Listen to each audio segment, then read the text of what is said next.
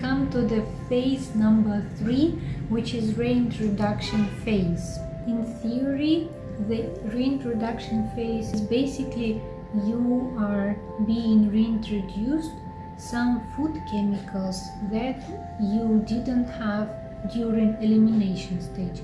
Just uh, um, just a random example. For example, uh, you were not having any lactose. Uh, for example, no cheese, no milk, and during the reintroduction phase, you can try and have something with lactose. It's just an example. It will be the same with all the other food chemicals. I will also give you an example of this.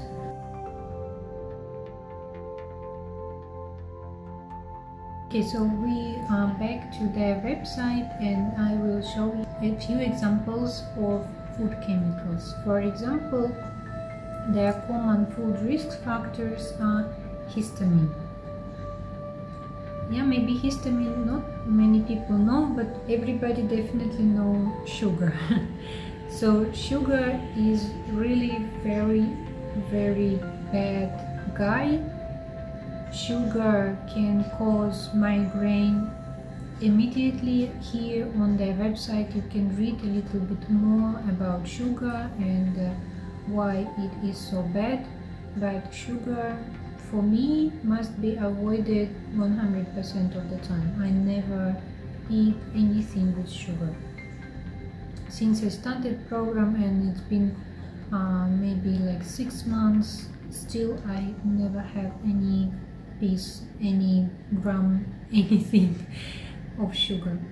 Uh, so better we should talk about histamine because everybody knows sugar, everybody knows how sugar look, and everybody knows uh, that we need to avoid it. I think even children know that sugar is not very good for your health, but uh, but we cannot say the same about, for example, bananas.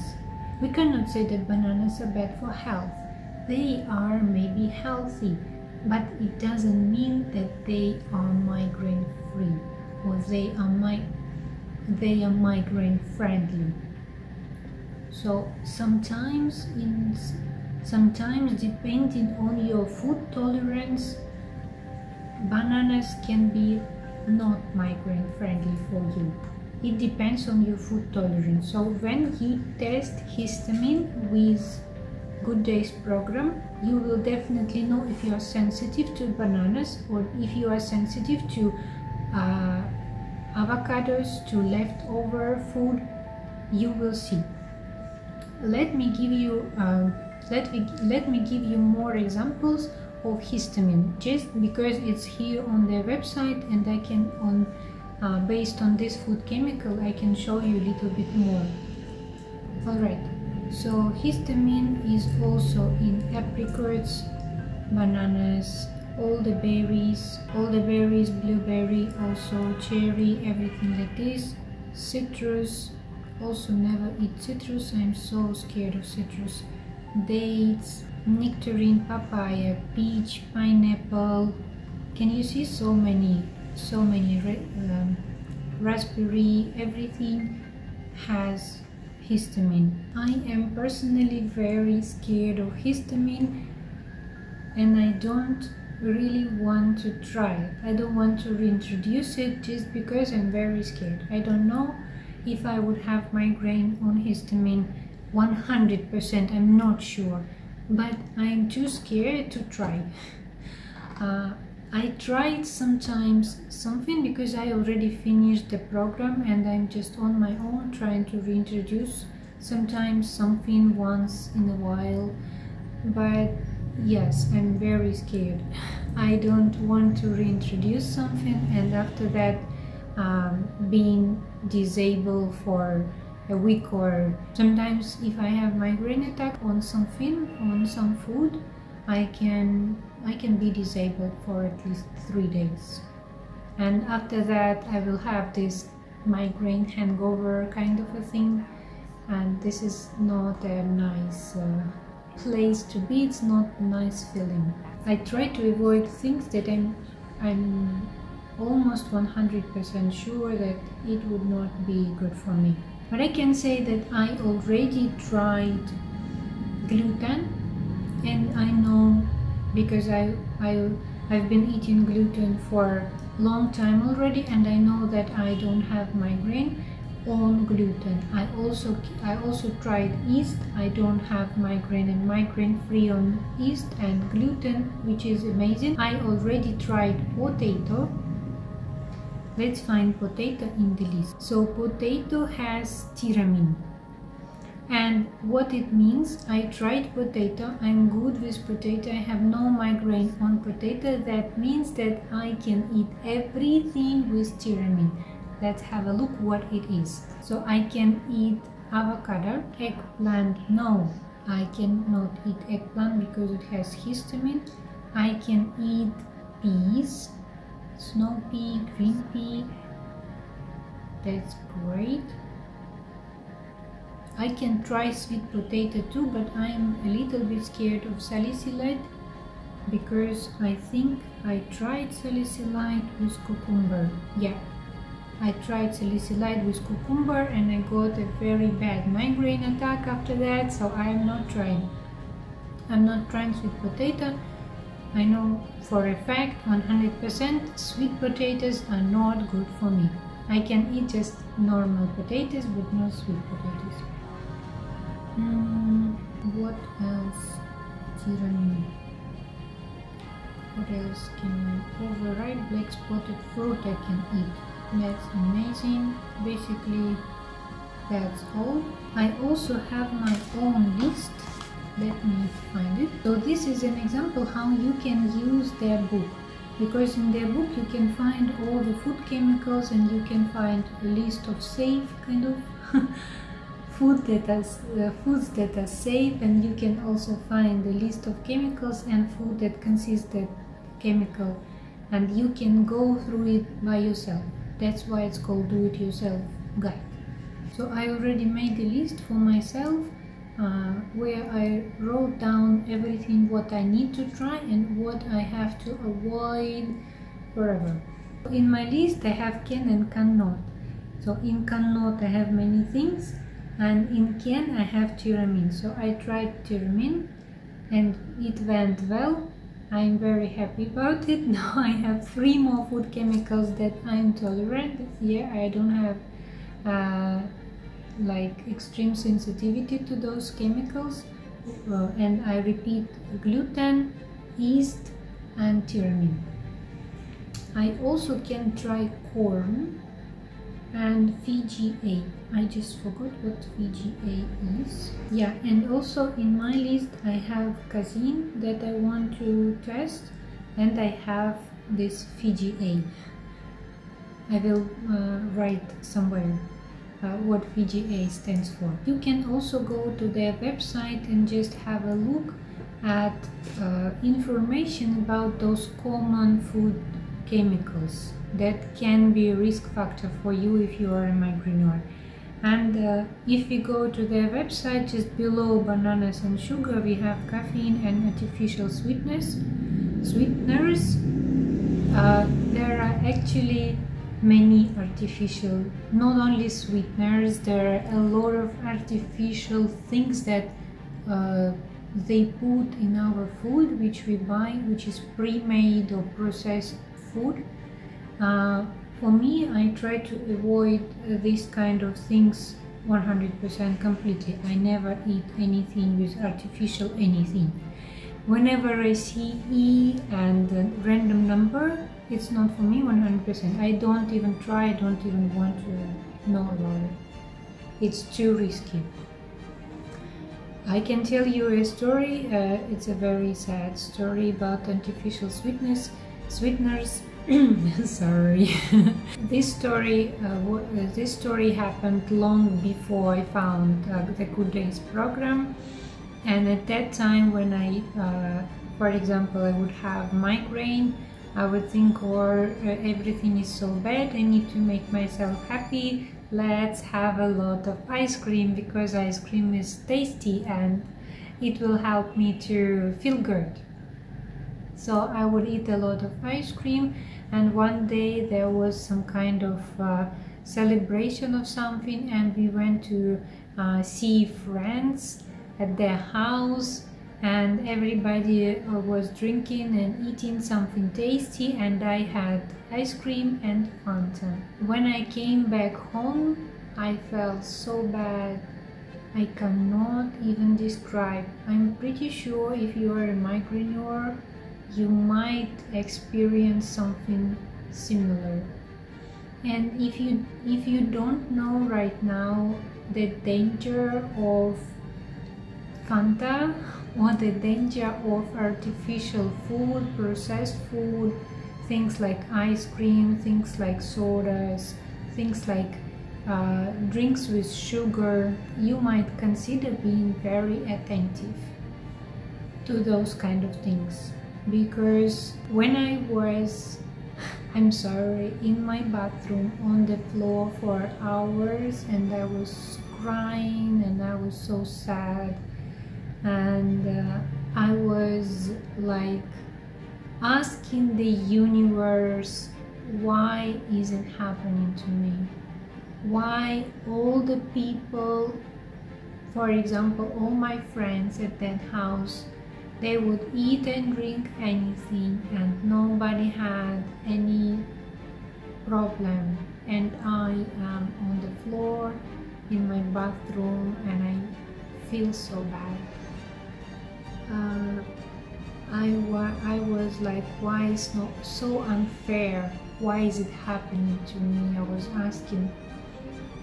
And I started doing my research just I opened Google and I started to research about migraine and I read one thing after another. And then I found this article about food and it says that aspartame which is in Fanta is very dangerous in terms of migraine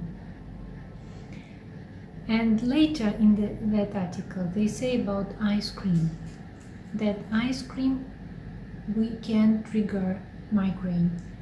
And I was oh god I had not only ice cream I had Fanta together with ice cream. And that was my mistake. And I made a lot of mistakes similar to this one a lot of because I didn't know that food can trigger my migraine. And very very often I would eat because I was sad. I would eat chocolate. I would have anything tasty just because I was sad or just because I had migraine or because something happened to me. And I didn't know that by eating something tasty I actually hurting myself more than this sad or this upsetting situation.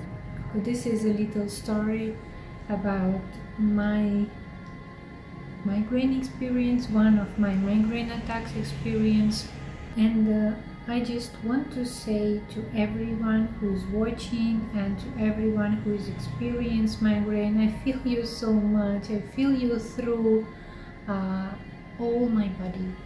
I know how it hurts. I know how it is difficult to live with migraine and I give you all my sympathy, all my light and I really send you my hugs and understanding and hope that you can fight and you can fight back and you can win this fight.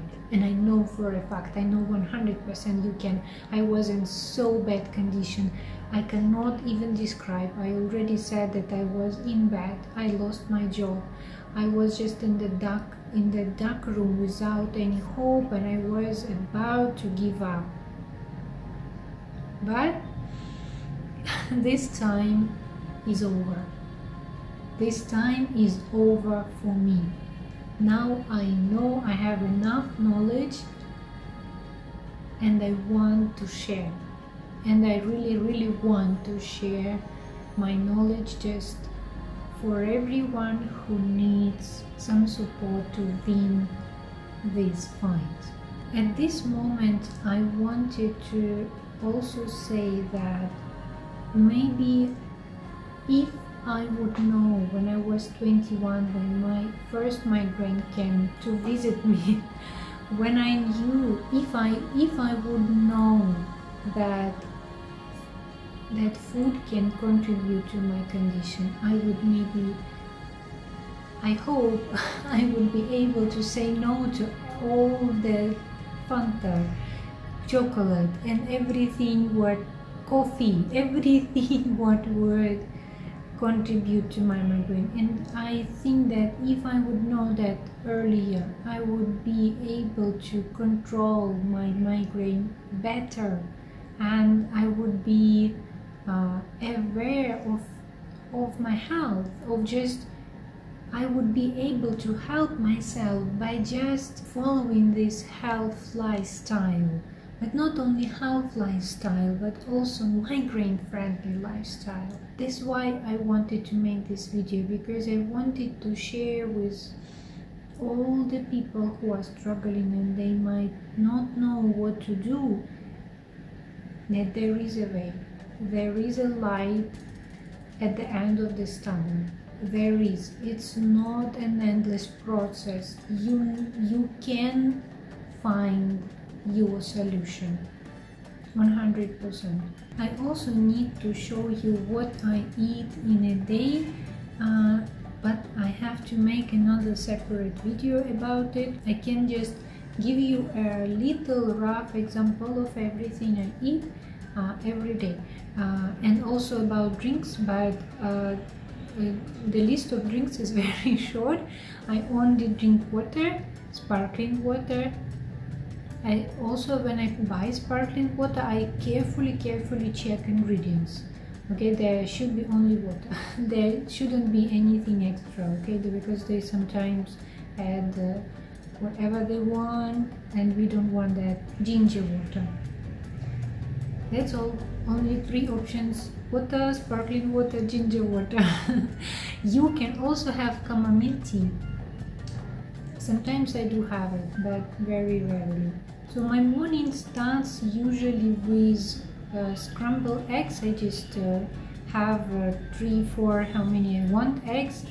Uh, I made them as I like. For example, I like scrambled eggs. I don't know why, just I like. And I also have uh, bread which I make myself. I just make easy bread recipe with whole wheat uh, flour and yeast and water and maple syrup. That's it. I just made this bread and I have this bread with butter. This is my breakfast. Then I usually snack. For example I can have kiwi or watermelon or mango. For lunch I have rice and uh, for example chicken. I can also add some cabbage or something green which is which is in my list of safe foods. And for dinner I uh, have some something similar to the, what I have for lunch. Um, or sometimes I can have uh, a bowl with uh, rice, coconut and maple syrup. This is a rough kind of example of uh, everything I eat in a day. And I also uh, traveled a few times with Good Days program uh, one time we traveled kind of like backpacker thing with a motorbike around Vietnam. I just cooked everything at home. I prepared everything in advance. I put it in containers I took with me. And when we were at the hotel, I asked them to cook for me everything clean like I ask them to put nothing. I literally ask them no sugar no no no pepper no salt nothing. I will just do everything myself. So just give me salt I will put a little bit but don't uh, make my food tasty. Anyhow you think it can be tasty? No thank you. Mm, they were very understanding. They would cook for me every day. Another time we traveled also I, I would ask every time to just serve for me uh, for example steak but uh, no extra spices nothing on it. And if uh, they for example serve me a salad I would ask uh, please uh, no tomatoes or no cucumbers just this or that and uh, of course I, at that time I didn't know I can eat potato so I used to say no potato. Um, I would say no potato um, but now I can eat potato. Oh. Yeah I'm so happy I can eat potato. I don't know, maybe my story sounds a little bit sad because I say that I cannot eat this, I cannot eat that, my diet is so poor, but it's not really. I don't think about food um, every moment. I don't think about food the whole day long or something like that. I have a lot of things in my life that I want to achieve and I want to um, spend time with my family. I want to spend time for my hobbies and with my dogs and for my work and everything. And uh, I I make food and I like I like it. I like what I eat. I love watermelon. Mine. If uh, somebody would ask me what is my favorite food, I would say mango. And I understand that it's not a dish. it's not Italian food or French food. I know, but I just this is what I like. What can I do? I don't have preferences. I cannot say I like Turkish food or Indian food. I like mango, whatever. That's it. I just like mango. And I'm so lucky that I can eat mango. So in my life, I don't, uh, I cannot say that it's uh, poor in terms of food. I still go out with my friends. I just have to have this two, three minutes conversation with the waiter because I need to explain to them what food I can or cannot eat. And I also want to say a few words to people who experience just episodic migraines. I know when you experience episodic migraines, you might think I don't need this um, good days program, I don't need anything, I don't need to avoid any food triggers. I've, even if I have one migraine uh, a month, I just take sumatriptan one pill and I'm good. Yeah, I understand this logic. If you know your food tolerance and your intolerance, your food sensitivities, you can avoid migraine attacks at all. You can just be 100% migraine free and you can take care of your health. And I think it is very important.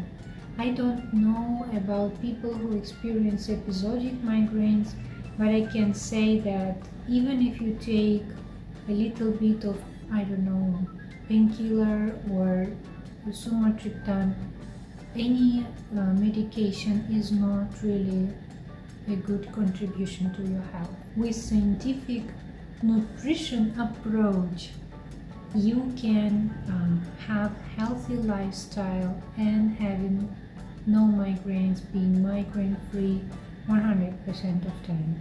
Alright, thank you everyone for watching. It's getting dark, the light changed. I see already I have to like wrap up this video. I would love to uh, know your opinion. Please share your experience in the comment section below. If you have any questions i would love to answer. I also will link below everything that i mentioned and i will try to uh, add all the pictures and videos so you will uh, have those this visual support. Thank you again everyone for watching. I will see you in my next video bye stay safe and healthy and I wish you a lot and a lot migraine free days. I wish you from the bottom of my heart. Okay guys, I hug you. Bye bye.